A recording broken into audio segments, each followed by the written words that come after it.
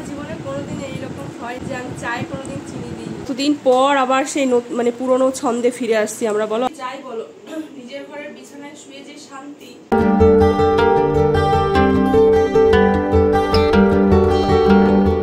Hello friend good morning welcome back to my channel Swapnapuran blog.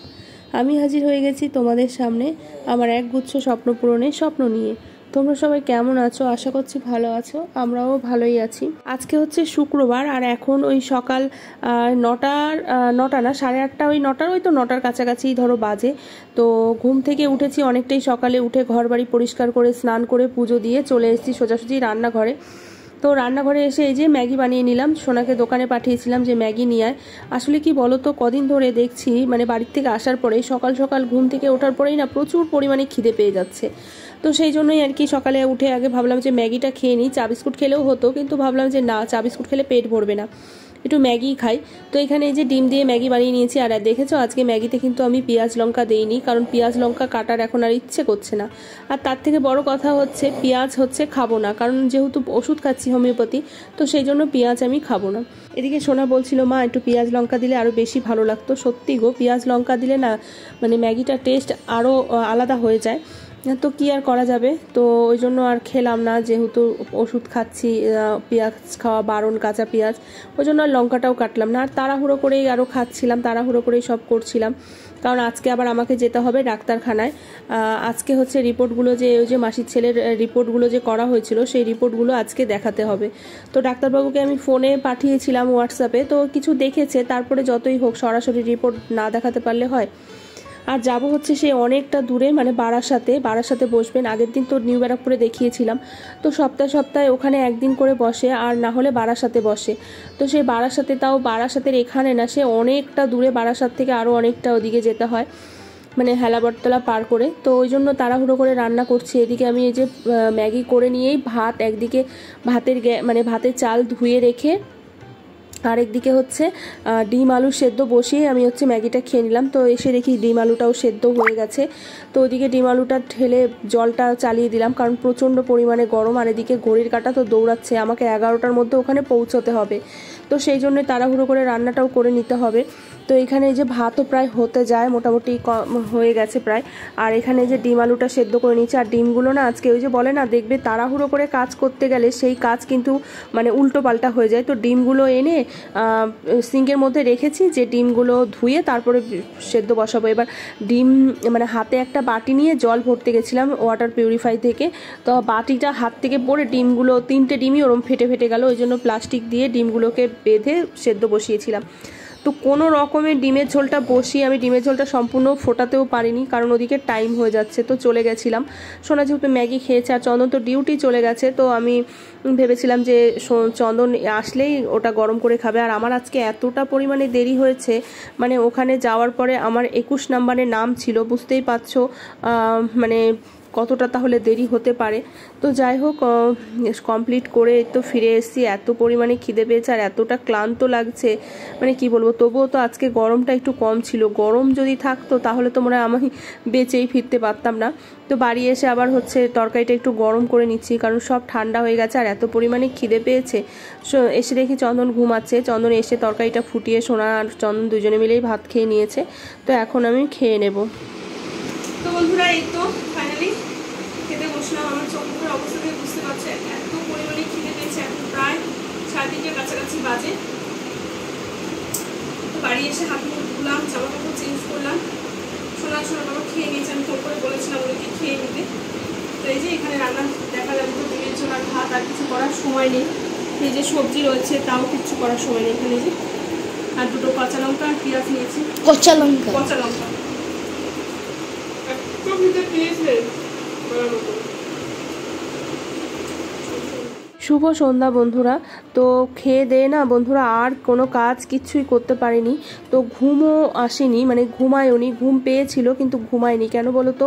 ওই টাইমে যদি আমি খেয়ে দিয়ে সাড়ে তিনটে, চারটে বেজে গেছে, তো ওই টাইমে যদি আমি ঘুমাই না, তাহলে না ওই সন্ধ্যেবেলা আরও শরীরটা খারাপ লাগবে। তো সেই জন্য আর ঘুমাইনি। ওই একটু গল্প করে চন্দনের সাথে আমি খেতে বসলাম আর চন্দন উঠে পড়ল। তারপরে গল্প টল্প করে এইভাবেই সময়টা কেটে গেছিল। তো এই যে সন্ধ্যেবেলা এখন সন্ধে দিয়ে নেব। সন্ধে দিয়ে তারপরে ভাবছি একটু চা খাব।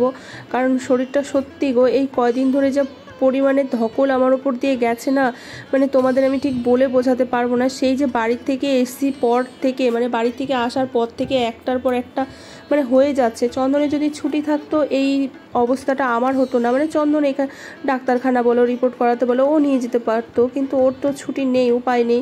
তো সেই জন্য আমাকেই ছোটাছুটি করতে হয়েছে আর কি। আর কি বলতো, নিজেদের হলে আলাদা ব্যাপার। আর ওরা যেহেতু আমার ওপর ভরসা করে এসছে, এবার যদি ঠিকঠাক সব কিছু না করে দিই, কেমন একটা লাগে না?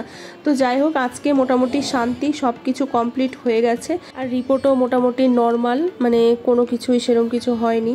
তো শান্তি এবার মানে বাড়িতে নাকি ওদের খুবই অসুবিধা হচ্ছিল। মানে ওর খুব অসুবিধা হচ্ছিল, শরীরে কষ্ট হচ্ছিল। তো এখানে আসার পর থেকে মানে ডাক্তারের ওষুধ একবার খাওয়ার পর থেকে দেখছি মোটামুটি একদম নর্মাল হয়ে গেছে ও। তো যাই হোক, এই যে চা বানাতে এসে দেখি রান্নাঘরে এক গাদা বাসন হয়ে রয়েছে। আসলে আমি জানি বাসন রয়েছে, কারণ হচ্ছে আমি তো দুপুরবেলা খেয়ে দিয়ে আর কিছু মানে আসার পরে খেয়ে দিয়ে আর বাসনপত্র কিছু ধুতে পারিনি। সোনা, সোনার বাবা ওরা সবাই খেয়েছে। আর হচ্ছে এই যে দেখো, বোতলও কতগুলো ফাঁকা করে রেখে দিয়েছে। সোনাকে বলেছিলাম, বাবা, তুই বোতলগুলো কিন্তু ভরে রাখবি। তো ভরেনি। ওই যে বললাম, ওর মুডের ওপর ইচ্ছে হলে করে, না ইচ্ছে হলে করে না। তো করে, করেনি। আর সব সময় না ভালো লাগে না। ও তো ছোটো মানুষ ওকে কতবার চিল্লিয়ে বলব বলো?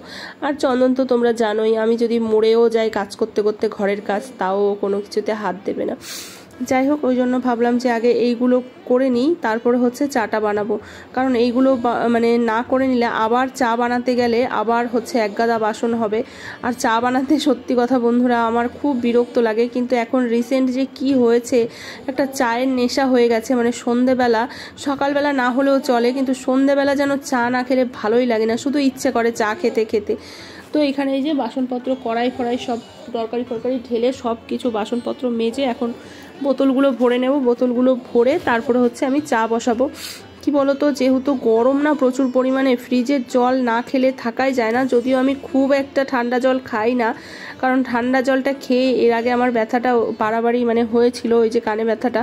তো এখন আমি জলটাকে মানে বের করে একটু নর্মাল করে তারপরেই আর কি খাই। তো এখানে দেখি চা বসিয়ে দিয়ে দেখি বিস্কুটের কৌটোর মধ্যে প্রায় ফাঁকা হয়ে গেছে বিস্কিট। তো ভাবলাম বিস্কুটটা ঢেলে নিই। তো মাসকাবাড়ি বাজার এসছে, সেটাও তোমাদের সঙ্গে শেয়ার করা হয়নি, কারণ দু মাস ধরে প্রায় মাসের বাজারটা সেভাবে ঠিকঠাক করাই হচ্ছিল না। মানে কি হয় বলো তো আজ এটা নিয়ে আসি তো কাল এটা নিয়ে আসি। তো সেই জন্য ওইভাবে করা হচ্ছিল না। তো মাসের বাজারটাও আনা হয়েছে বিস্কুট ফিস্কুটগুলো। তো ওইদিকে চা হচ্ছে আর এদিকে হচ্ছে আমি সব রেডি করে নিচ্ছি। চা হয়েও গেছে প্রায়। লিকার চাই করলাম, লিকার চাই যেন আমরা খেতে ভালোবাসি। তো চা ঢেলে নিয়ে চাটা খাব। সোনাকে বলেছিলাম, চা খাবি নাকি? সোনা বলল, না, আমি চা খাব না। তো ওকে আবার কি আম না কি যাই হোক, কি কেটে দিয়েছি, অতটাও তখন মনে নি তো যাই হোক, চলো আমাদের এই যে চাটা একদম রেডি হয়ে গেছে।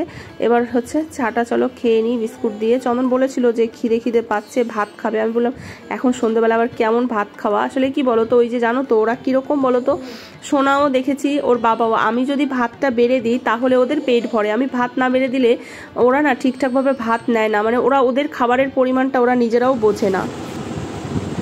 সন্ধ্যা তো বুঝতে শরীরটা কতটা পরিমাণে টায়ার্ড তো ভাবলাম যে একটু চা কম দেবো, বেশি চাটা আমি দেবো এটা হ্যাঁ?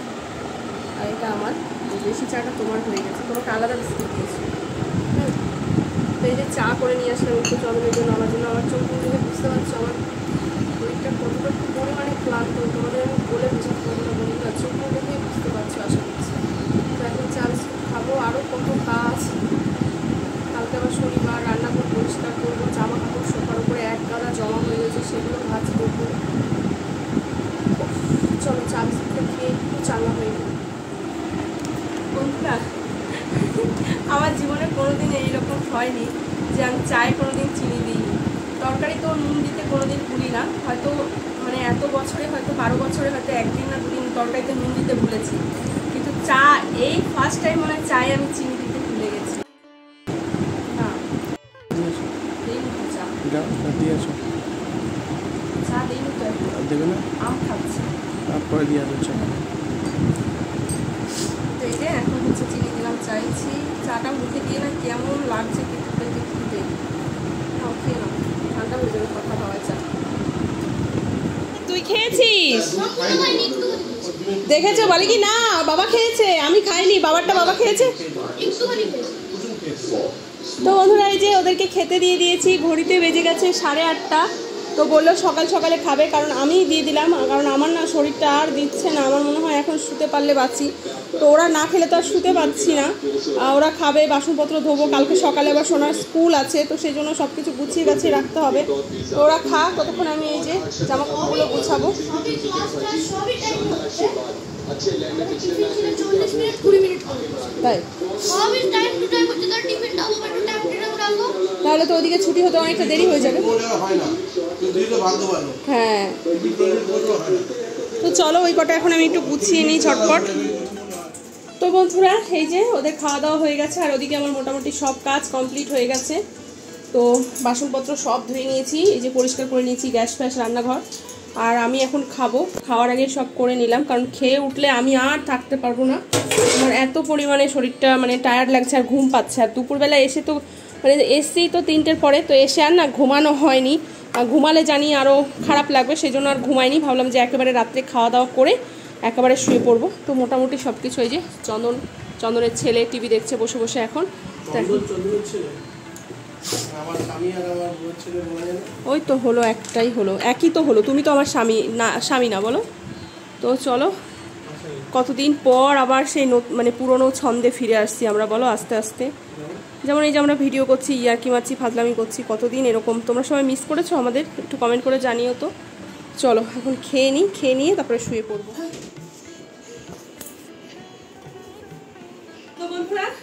খাওয়া দাওয়া করে চলে ঘরে। কথা যতই যাই বলো নিজের বিছানায় শুয়ে যে শান্তি ও প্লিজ আজকে একটা অনুরোধ করছি আমি কোনো সুযোগ দেবো না বাবা। তুমি যতই যাই বলো আমি কোনো সুযোগ দিচ্ছি না মানে দিচ্ছি না।